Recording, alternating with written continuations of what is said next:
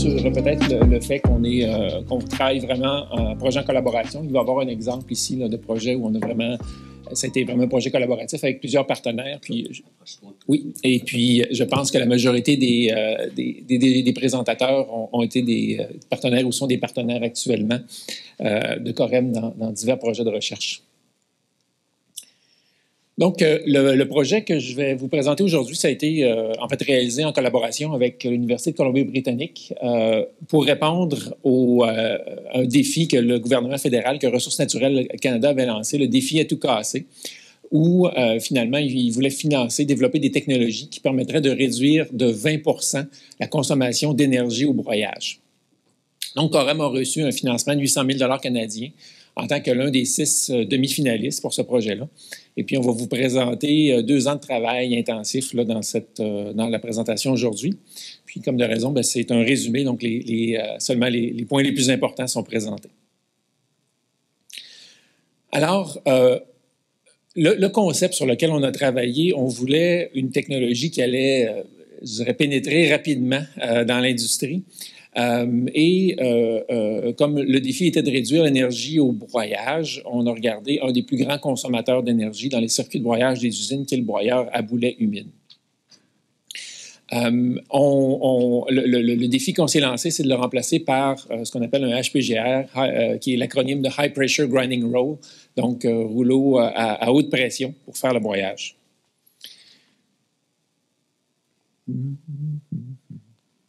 Ah, voilà.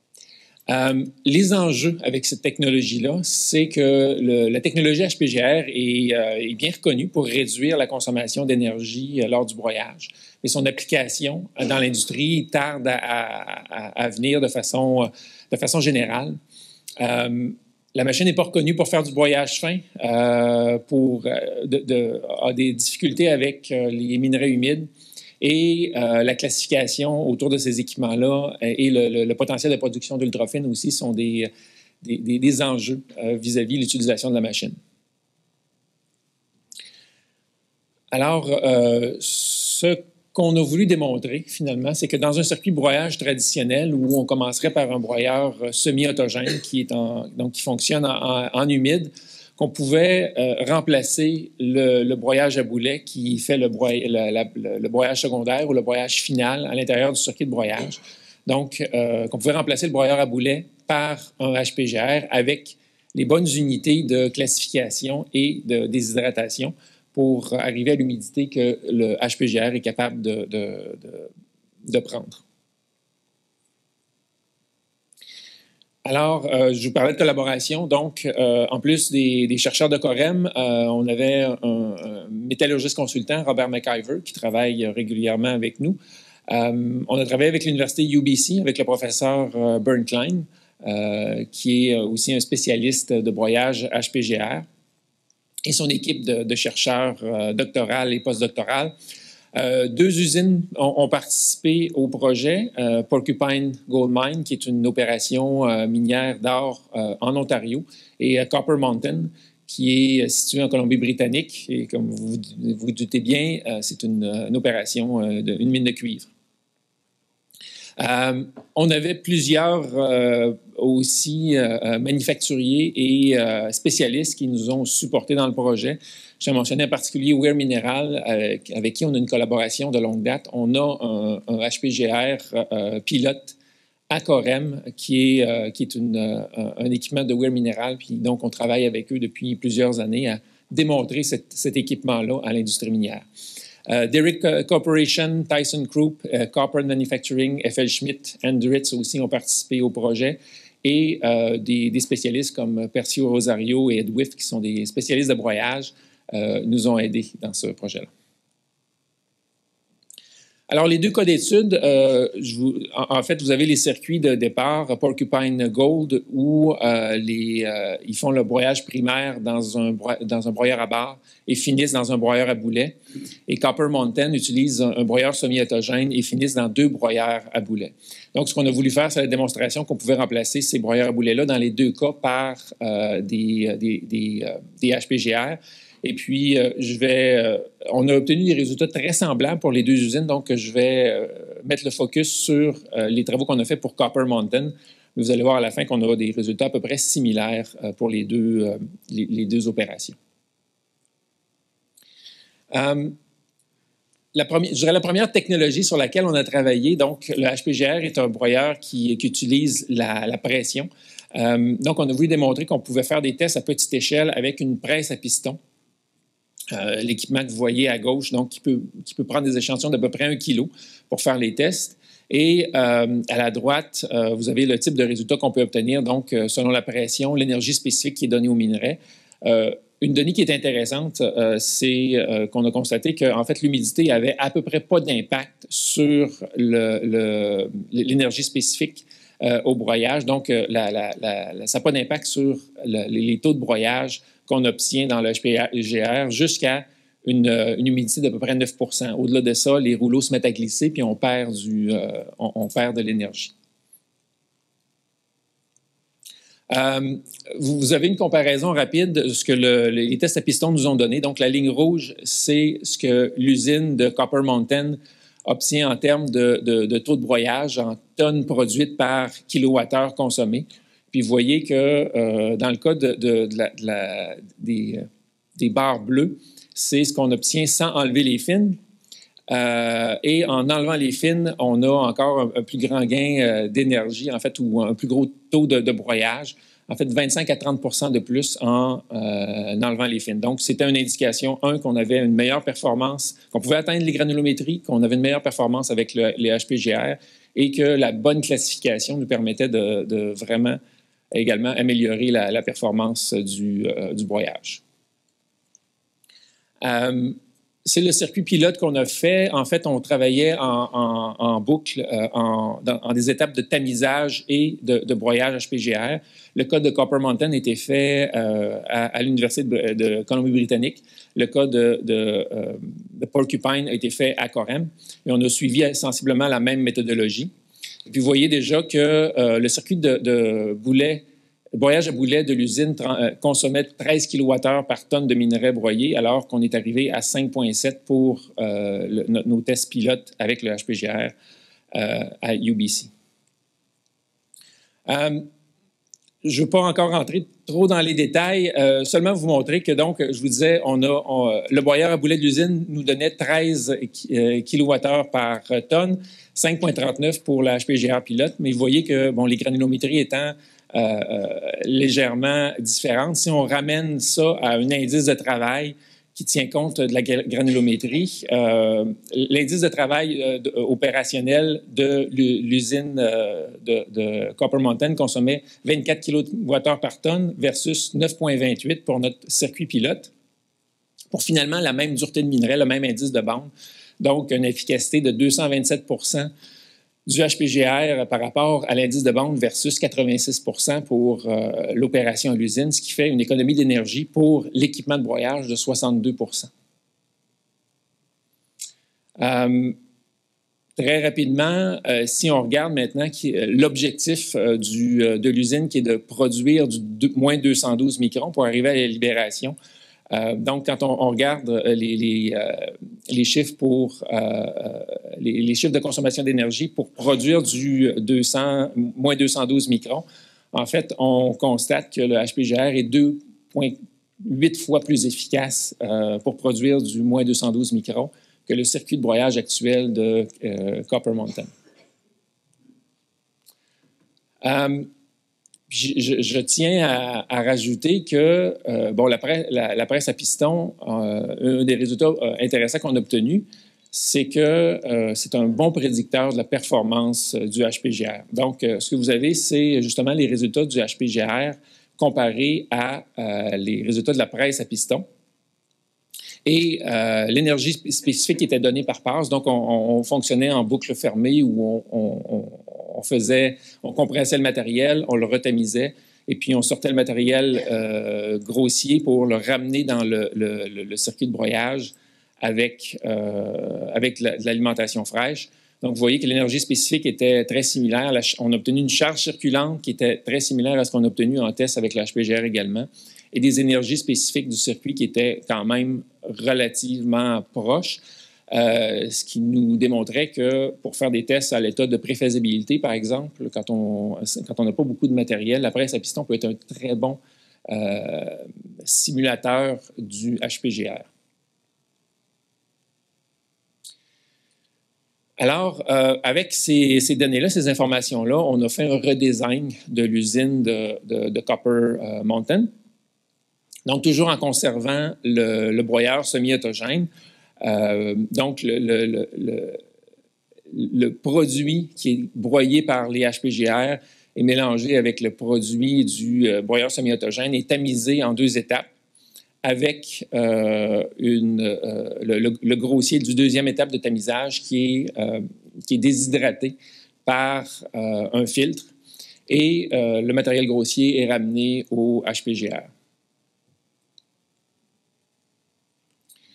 En utilisant un circuit comme ça, on a donc fait le calcul des consommations d'énergie, ce qui fait que encore une fois, on, parle de 13,8 kWh par tonne pour le circuit de broyage de Copper Mountain pour le broyage versus 5,25 euh, pour le circuit d'HPGR. Donc, une diminution de 62% de, consommation énergétique. Maintenant, comme nos équipements auxiliaires, incluant la filtration, consomment un peu plus euh, d'énergie, euh, en fait, on, on, a 1 kWh par tonne pour euh, l'ensemble des équipements auxiliaires, comprenant les convoyeurs, etc., euh, euh, et le pompage alentour du circuit de voyage à boulet de Copper Mountain, versus 2,59 sur le, schéma qu'on a désigné.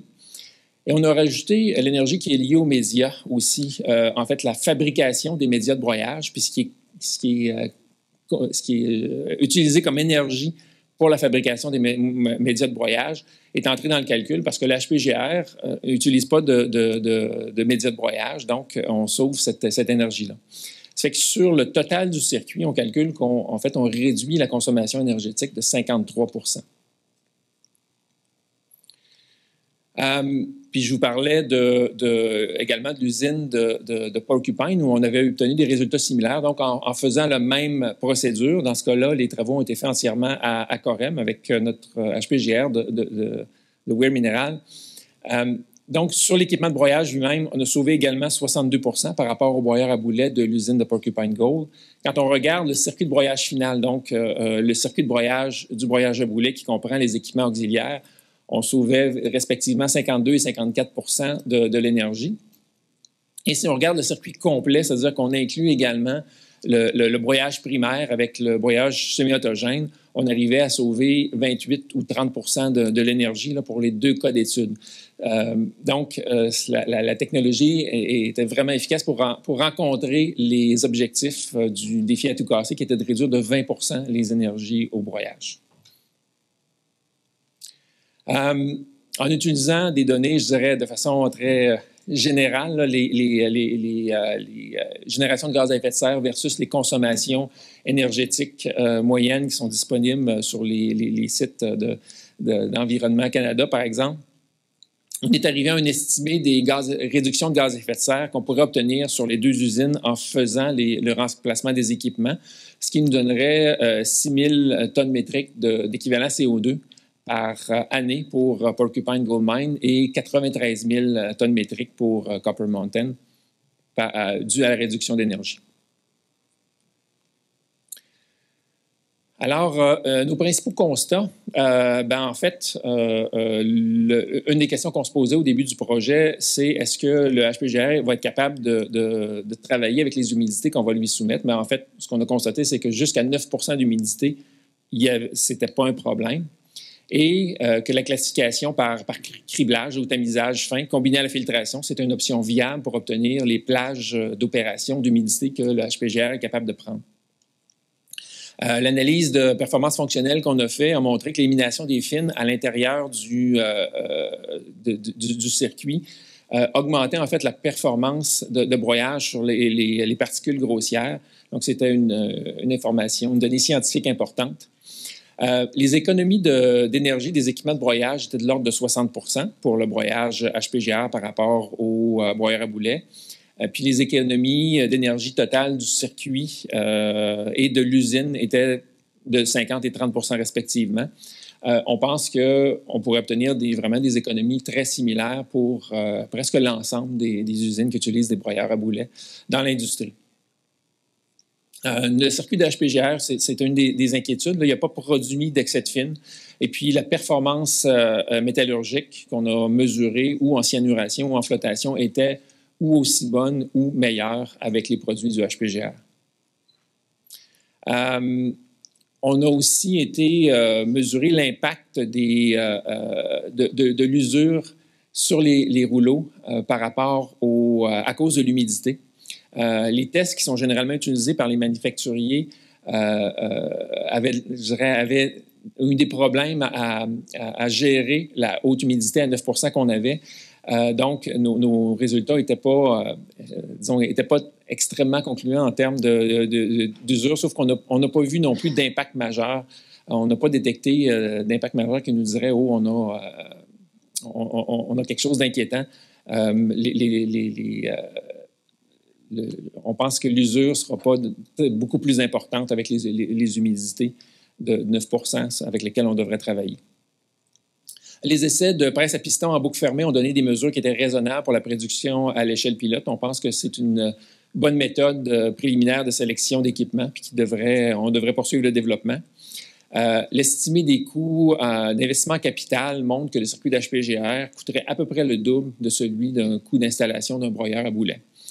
Donc, le retour sur l'investissement va beaucoup dépendre du coût de l'énergie pour l'usine qui voudrait faire ce choix-là mais euh, également l'amélioration puis l'optimisation du schéma de procédés dans le futur, entre autres par des meilleures méthodes de classification ou de, déshydratation, pourrait vraiment aider l'économique du procédé. Euh, la réduction de gaz à effet de serre est très significative et euh, si on vient ajouter les, impacts économiques de cette réduction-là, par exemple, réduction des taxes carbone, ça devrait favoriser aussi l'implantation d'un HPGR versus un circuit de broyage à boulet. Alors, en conclusion, euh, le schéma de broyage fin par euh, voie humide ou HPGR utilise des, équipements existants qui sont déjà éprouvés dans l'industrie. Donc, euh, ce qu'on a fait, c'est un, redesign des circuits avec des équipements existants, avec, je dirais, un nouveau concept. Donc, le concept est prêt pour l'industrie, pour des gens qui veulent le tester. Tous les nouveaux projets ou projets d'expansion, à notre avis, devraient euh, étudier son utilisation comme option euh, éco-énergétique, que la motivation soit euh, le coût d'opération ou l'impact environnemental. Et la technologie peut être démontrée facilement en, usine pilote. il existe aussi des versions à sec où on travaille seulement avec des HPGR, avec du, tamisage à sec, qui vont donner le même genre d'économie. Et puis, cette technologie-là aussi est prête pour, pour l'industrie. Alors, on appelle euh, des gens qui seraient intéressés à tester cette technologie-là. Euh, je dirais que c'est, euh, ouvert à, tous. On, pense que s'il y a des gens qui veulent faire l'extension d'un circuit de broyage à boulet dans une usine existante, ça représenterait un cas idéal. Mais toutes les usines peuvent bénéficier de la technologie avec, puis en obtenant un broyage plus fin ou un plus grand tonnage. Et euh, comme c'est un projet d'économie énergétique, il y a du support gouvernemental. Donc, ça peut être un bon moment pour faire un investissement parce que l'achat d'équipements pourrait être supporté de façon importante euh, par les gouvernements. Et puis, Corem est très prêt à être un partenaire avec vous pour supporter euh, des travaux qui seraient faits dans ce sens-là. Alors, je tenais à remercier en fait l'ensemble de, nos, de nos partenaires, incluant Ressources naturelles Canada, qui a financé ce travail-là. Alors, euh, ça complète ma présentation. Merci. Est-ce que vous avez des, questions?